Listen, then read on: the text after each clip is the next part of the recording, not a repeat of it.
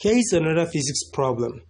Let's assume you are given this kind of problem that asks you to show that the work done by the spring is actually kx to the power of 2 divided by 2, which is the same thing as writing the work done is going to be a half kx square. If you multiply kx square by 1, this is the same thing as writing work done kx square divided by 2. This equation is the same thing as this.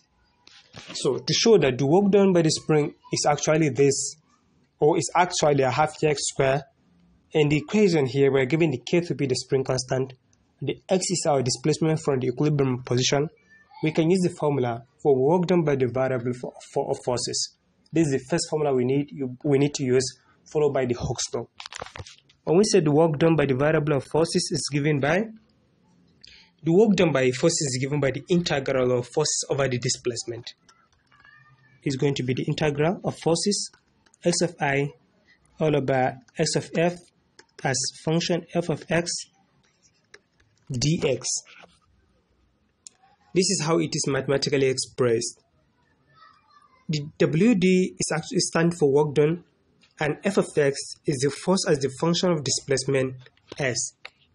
So According to the Hooke's law, the force exerted by a spring is directly proportional to the displacement from its equilibrium position and it acts in the opposite direction. So Hooke's law, we need Hooke's law to solve this problem. According to the Hooke's law, this is going to be mathematically expressed as f of x. Since we said it's going to be in negative direction, this is going to be negative kx. And also here, the k is the spring constant and x is the displacement from the equilibrium position. Next thing we need to do is substitute this equation, that is the Hooke's law, into this equation. So how can we do that? In this case, the function f of x is equal to negative kx. We are going to replace the function f of x here by the same negative kx. We are going to bring back our data here. Our work done is actually going to be the integral of x of f, x of i, that is the initial displacement and further displacement, into bracket of negative kx dx. Next thing we need to do at this point is to integrate the negative kx with respect to x from the initial displacement to the final displacement. This gives us the total work done by the spring as it undergoes uh, the displacement from the position x of i down to the position x of f. So, and after that, we need to integrate, we evaluate the limit. For us to evaluate the limit, this is going to be our work done instead of the integral this time around. We're going to integrate, uh, sorry, we're going to integrate it, which is going to be negative. I'm bringing this formula, which is going to be a half kx square at this point, we have two different distance, which is x of i. Here is going to be x of i upon x of f. This involves subtracting the value of the integral from the upper limit, which is f of s of x, from the uh, sorry from its value uh, in the lower limit, which is x of i.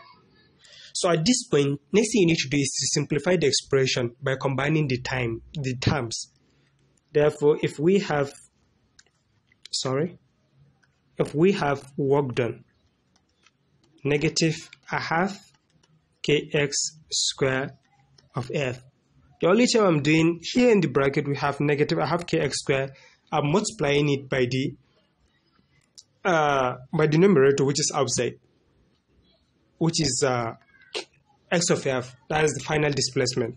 And I'm still going to come back and multiply it by the initial displacement. If you do that remember here we're still going to have negative. For me to multiply it by this, I need to create a bracket.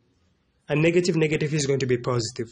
Negative, I have k x square multiplied by x of i. This is going to be negative half k x of i to the power of 2. So next thing you need to do is to simplify further by simplifying the negative sign. For us to simplify the negative sign, we're going to have the work done this is simply going to be a half kx i upon 2. I'm bringing this to this side. this is negative, I'm switching it to this side. In this case, it's going to be positive. But here, we're going to still have one negative, which is going to be a half kx of f squared.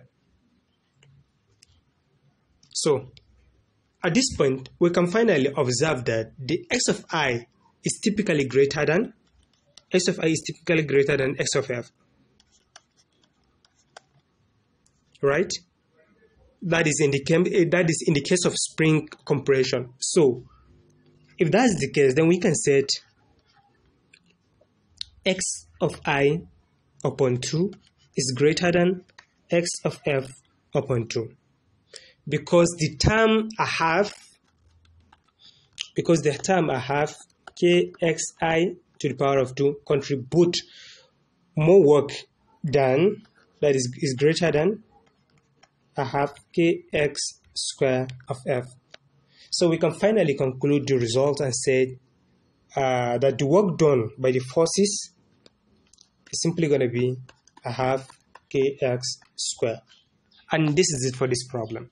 Thank you for watching. I hope you find the video helpful. Don't forget to share, like, and subscribe.